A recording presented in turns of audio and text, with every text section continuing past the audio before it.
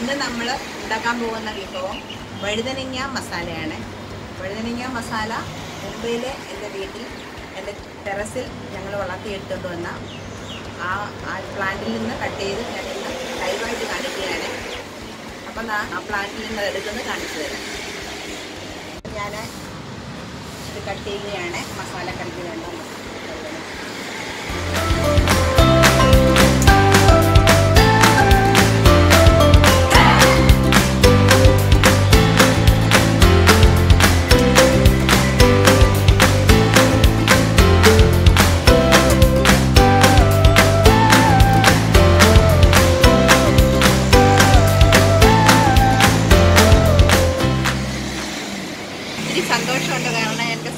വഴുതനങ്ങ ചെടിയിൽ നിന്ന് നമ്മൾ പറിച്ചുണ്ടാക്കുന്ന മസാല എന്ന് പറയുമ്പം അതിനകത്ത് കെമിക്കലൊന്നും ചേരാതെ ഞങ്ങൾ നാച്ചുറലായിട്ട് ഞങ്ങൾ വെജിറ്റബിളിന്റെ വേസ്റ്റ് കമ്പോസ്റ്റ് ചെയ്ത് അതിൽ അതും ഇട്ടാണ് ഇത് വളർത്തിയെടുക്കുന്നത്. അപ്പോൾ ഇന്നത്തെ നമ്മുടെ വഴുതനങ്ങ കറി നമുക്ക് ഉണ്ടാക്കാൻ തുടങ്ങിയാൽ അതിന് വേണ്ട സാധനങ്ങൾ എന്താണെന്ന് നമുക്ക് നോക്കാം. ഒരു ഹാഫ് കെ ജി ഞാൻ വഴുതനങ്ങ എടുത്തിട്ടുണ്ട്. രണ്ട് മീഡിയം സൈസ് സവാള ഇങ്ങനെ സ്ലൈസ് ചെയ്ത് വെക്കണം. ടൊമാറ്റോ ചോപ്പ് ചെയ്ത് വെക്കണം. രണ്ട് ടൊമാറ്റോ. പിന്നെ ഇതിന് കൊപ്രയാണ് യൂസ് ചെയ്യുന്നത്. നോർത്ത് ഇന്ത്യൻ ഡിഷ് ആയതുകൊണ്ട് കൊപ്രയാണ് യൂസ് ചെയ്യുന്നത്. പച്ചത്തേങ്ങ നമുക്ക് യൂസ് ചെയ്യാൻ പറ്റില്ല. കൊപ്ര ഞാൻ സ്ലൈസായിട്ട് കട്ട് ചെയ്തിട്ട് അത് മിക്സിയിൽ അരച്ച് വെച്ചിരിക്കുന്നതാണിത്. പിന്നെ നമ്മൾ ഇതിന് യൂസ് ചെയ്യേണ്ടത് കപ്പലണ്ടിയാണ്. റോസ്റ്റഡ് കപ്പലണ്ടി. അപ്പോൾ റോസ്റ്റഡ് കപ്പലണ്ടി ഇല്ല എങ്കിൽ പച്ചക്കപ്പലണ്ടി നമുക്ക് ഫ്രൈ പാനി വെച്ച് ഫ്രൈ ചെയ്ത് തൊലി കളഞ്ഞ് നമുക്ക് പൊടിച്ചെടുക്കാം. പിന്നെ റോസ്റ്റർ കപ്പലണ്ടി ഞാൻ പൊടിച്ച് വെച്ചിരിക്കുകയാണ് ഇത്. പിന്നെ ഇതിന് വേണ്ട മസാലകളാണ്. രണ്ട് തേജ്പത്ത വേണം. രണ്ട് ഇലൈച്ചി വേണം. ജിഞ്ചർ ഗാർലിക് പേസ്റ്റ് ഒരു ടീസ്പൂൺ വേണം. ഹാഫ് ടീസ്പൂൺ മഞ്ഞൾപ്പൊടി വേണം. മുളക് പൊടി വേണം. ഗരം മസാല വേണം. മല്ലിപ്പൊടി വേണം. പിന്നെ കുറച്ച് നല്ല ജീരകം വേണം. പിന്നെ ഉപ്പ് ആവശ്യത്തിനുള്ള ഓയിൽ നമുക്ക് ആദ്യം തന്നെ ഈ വഴുതനങ്ങ നമ്മൾ കുറച്ച് ഓയിലിനകത്ത് ഹാഫ് കുക്ക് ചെയ്തണം ഫ്രൈ ചെയ്തെടുക്കണം. ഇത് ഓയിൽ ഉപയോഗിക്കാനെ കൊണ്ട് ബുദ്ധിമുട്ടുള്ളവർ നമ്മുടെ ഇഡ്ഡലി പാത്രത്തിൽ വെള്ളം ഒഴിച്ചിട്ട് ഒരു പത്ത് മിനിറ്റ് സ്റ്റീം കൊടുത്തെടുത്താലും മതി. പക്ഷെങ്കിൽ ഇത് ആദ്യമായിട്ട് നമ്മളിതൊന്ന് കൊടുവിച്ചെടുക്കണം. നടുക്കൂടെ നമുക്കൊന്ന് കട്ട് ചെയ്തെടുക്കണം. കറിക്ക് നമ്മളിങ്ങനെ തണ്ടോടുകൂടി തന്നെ യൂസ് ചെയ്യണം. ഇതുണ്ട്. ഇങ്ങനെ തണ്ട് വെച്ചിട്ട് നമ്മൾ കട്ട് ചെയ്തെടുക്കണം. തണ്ട് മുറിച്ച് മാറ്റാൻ പാടില്ല.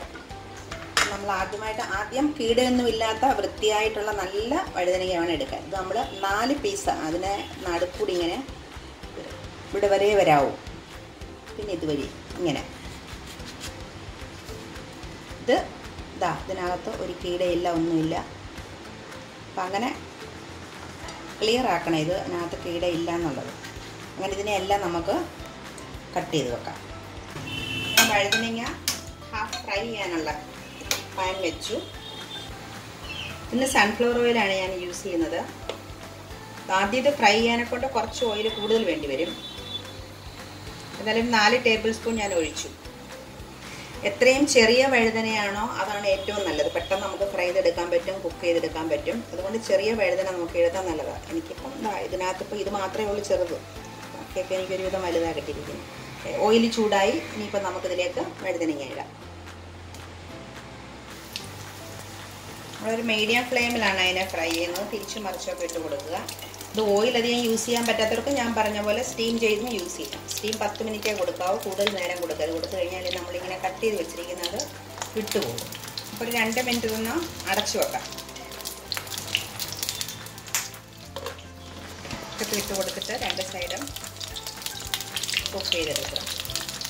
ഒരു സെവന്റി ഫൈവ് പെർസെന്റ് നമ്മൾ കുക്ക് ചെയ്ത് ഇങ്ങനെ എടുക്കണം വീണ്ടും നമുക്ക് അടച്ചു വെക്കാം. നമ്മുടെ വഴുതന ഒരു സെവന്റി പെർസെന്റ് കുക്കായിട്ടുണ്ട് ഇനിയിപ്പോൾ അതിനെ ഓയിലിൽ നിന്ന് മാറ്റി വെക്കാം.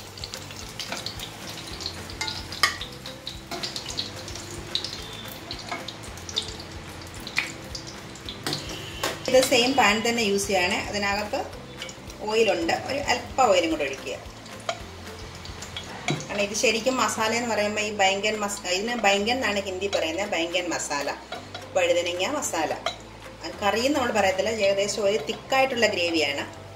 ഇനി നമ്മൾ ഓയിൽ ചൂടായി. ചൂടാകുമ്പോൾ നമ്മൾ ഒരു ടീസ്പൂൺ ഞാൻ നല്ല ജീരകം എടുത്ത് വെച്ചിട്ടുണ്ട്.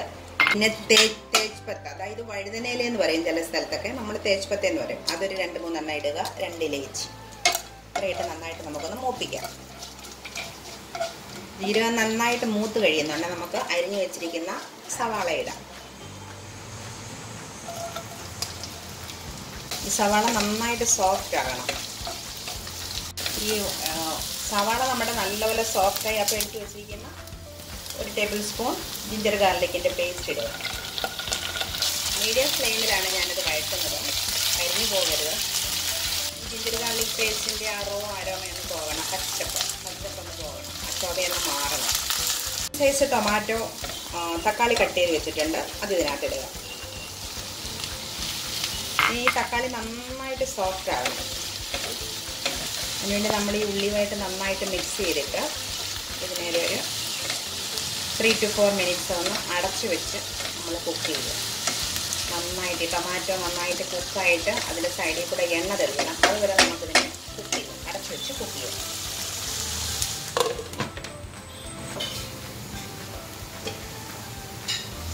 തക്കാളി നന്നായിട്ട് വെന്ത് ഉടഞ്ഞിട്ടുണ്ട് ഇത് നമ്മൾ മസാല ചേർക്കാം. ഒരു വൺ ഫോർ ടീസ്പൂൺ ഹൽദി പൗഡർ ഇട്ടു. ഒരു ടീസ്പൂൺ മല്ലിപ്പൊടി. ഒരു ടീസ്പൂൺ ഗരം മസാല. രണ്ട് ടീസ്പൂൺ കാശ്മീരി ചില്ലി പൗഡറാണ് യൂസ് ചെയ്യുന്നത്. പിന്നെ കളറ് കിട്ടാൻ നല്ലതാണ്. എരി അധികമില്ല പിന്നെ ഹാഫ് ടീസ്പൂണ് ജീരകപ്പൊടി. നന്നായിട്ട് മിക്സ് ചെയ്യുക. ഇതെല്ലാ പൊടികളും ഞാൻ വറുത്ത് വെച്ചിരിക്കുന്നതാണ്. വറുത്ത് വെച്ച് പൊടിച്ചതായതുകൊണ്ട് അത് ഡയറക്റ്റ് ഇട്ട് അധിക സമയം ഇങ്ങനെ വഴറ്റേണ്ട ആവശ്യമില്ല. പച്ചപ്പൊടിയാണ് ഉപയോഗിക്കുന്നതെങ്കിൽ അത് രണ്ട് മിനിറ്റ് നന്നായിട്ട് വഴറ്റി കൊടുക്കണം. നമുക്ക് രണ്ട് മിനിറ്റ് വീണ്ടും ഒന്ന് അടച്ചു കൊടുക്കാം അപ്പോൾ നമ്മുടെ മസാലയും തക്കാളിയും എല്ലാം കൂടെ നന്നായിട്ട് മിക്സ് ചെയ്ത സൈഡിൽ നിന്നൊക്കെ എണ്ണയൊക്കെ വിട്ട് തുടങ്ങി. അപ്പോൾ ഇതിനകത്തിനെയും നമ്മൾ ഇതിന് കൂടുതൽ ടേസ്റ്റ് കിട്ടാൻ വേണ്ടി ഞാൻ പറഞ്ഞിരുന്നു കപ്പരണ്ടി. കപ്പരണ്ടി വറുത്ത് പൊടിച്ച് വെച്ചേക്കുന്നത്. അപ്പോൾ ഞാൻ കപ്പരണ്ടിയും ഈ കൊപ്രയും കൂടെ കാണിച്ചത്. കൊപ്ര കുറച്ചെടുത്താൽ മതി. ഇങ്ങനത്തെ കൊപ്ര കുറച്ചെടുക്കുക. കുറച്ചെടുത്തിട്ട് ആവശ്യാനുസരണം കൊപ്ര ചേർത്തില്ലെങ്കിലും കുഴപ്പമൊന്നുമില്ല. ഇത് രണ്ടും കൂടി ഞാൻ മിക്സിയിലെടുക്കുക കുറച്ച് കൊപ്രയും കുറച്ച് കപ്പലണ്ടിയും കൂടെ വറുത്തത്. വറുത്ത് അത് രണ്ടും കൂടെ മിക്സ് ചെയ്തെടുക്കുക. അതുകൂടെ ഇതിനോട് ചേർക്കാം. അത് കൂടുതൽ ടേസ്റ്റ് കിട്ടും ഇപ്പോൾ കൊപ്ര അവൈലബിൾ ആയിട്ടില്ല എങ്കിൽ ഈ കപ്പലണ്ടി മാത്രം ചേർത്താലും മതി. കപ്പലണ്ടി പൊടിച്ചിട്ട് ചേർത്താൽ മതി. ഒരു മൂന്ന് ടേബിൾ സ്പൂൺ ചേർത്താൽ മതി. പറഞ്ഞാൽ ഗ്രേവി തിക്കാവുകയും ചെയ്യും. നല്ല ടേസ്റ്റും നന്നായിട്ട് മിക്സ് ചെയ്യുക. ഇതിലേക്ക് ഞാൻ ഒരു ഗ്ലാസ് വെള്ളം ഒഴിച്ചു കൊടുക്കുകയാണ്. ഇതുവരെ ഞാൻ ഉപ്പിട്ടിട്ടില്ലായിരുന്നു. ഇപ്പം ഞാൻ ഉപ്പും കൂടി ഇടുക. ഒരു ടീസ്പൂൺ ഉപ്പ് ഇട്ടിട്ട് പിന്നെ നമുക്ക് നോക്കാം എത്ര ആവശ്യം ഉണ്ടെങ്കിൽ പിന്നെ ചേർക്കാം. എന്നിട്ട് ഒരു ഗ്ലാസ് വെള്ളം ഒഴിക്കുക.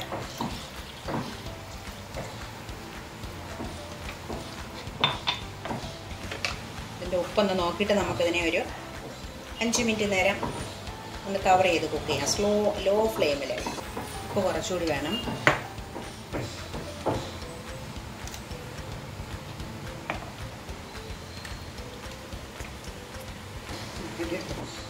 കുറച്ച് കപ്പലണ്ടിയുടെ പൊടി കുറച്ച് ഇടുകയാണ്. അതിട്ട് കുറച്ച് നല്ല ഫ്ലേവർ കിട്ടും.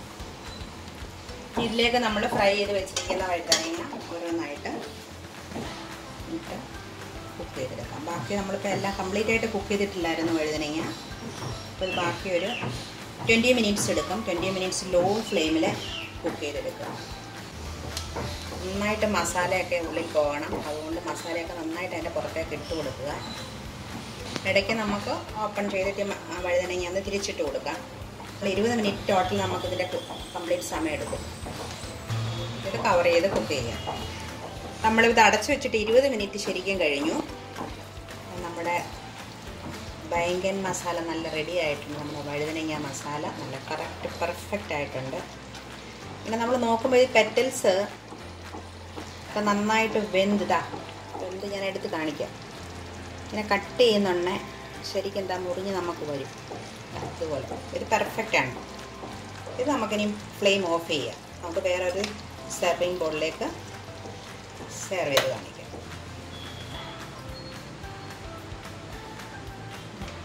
നല്ല ടേസ്റ്റാണ് ഇത്.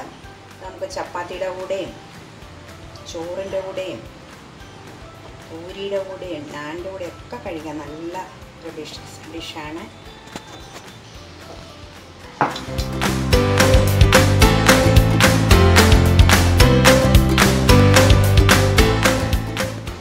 വഴുതനങ്ങ മസാല റെഡിയായി കഴിഞ്ഞു. എല്ലാവരും ഇത് വീട്ടിൽ ട്രൈ ചെയ്ത് നോക്കണം. വളരെ ഈസിയാണെന്ന് ഞാൻ പറയത്തില്ല. എന്നാലും നല്ല രസമായിട്ടുള്ള ഒരു സൈഡ് ഡിഷാണ് ഇത് ചപ്പാത്തി കൂടെ കഴിക്കാനാണ് ഏറ്റവും ബെസ്റ്റ് എല്ലാവരും ഇത് ട്രൈ ചെയ്ത് ഈ വീഡിയോ ഇഷ്ടപ്പെടുന്നെങ്കിൽ ലൈക്ക് ചെയ്യണം ഷെയർ ചെയ്യണം. ആരെങ്കിലും പുതിയതായിട്ട് കാണുന്നവരുണ്ടെങ്കിൽ ബിജീസസ് വഴി സബ്സ്ക്രൈബ് ചെയ്യണം. ബെൽ ഐക്കൺ ക്ലിക്ക് ചെയ്യണം. നന്ദി നമസ്കാരം. നെക്സ്റ്റ് വീക്ക് പുതിയ റെസിപ്പിയായിട്ട് വരാം. അതുവരെ ബൈ ബൈ.